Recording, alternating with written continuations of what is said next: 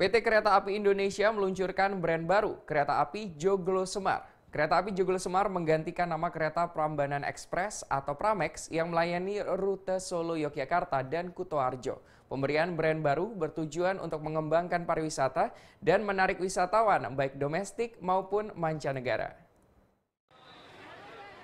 Tingkatkan pariwisata di daerah istimewa Yogyakarta dan Jawa Tengah, PT KAI Daop 6 memberikan label baru atau rebranding kereta Pramex menjadi Spirit Joglo Semar. Tampilan kereta pun berubah. Jika Pramex identik dengan warna kuning dan putih, Spirit Joglo Semar bermotif batik. Selain itu, terdapat gambar sejumlah destinasi wisata di DIY dan Jawa Tengah.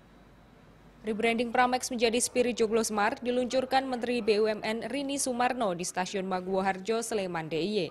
Ini yang kita ingin capai adalah bagaimana meningkatkan eh, apa namanya wisatawan baik itu dari domestik maupun mancanegara eh, meningkat terutama di kawasan DIY dan eh, Jawa Tengah khususnya yaitu di Jogja, Solo dan Semarang.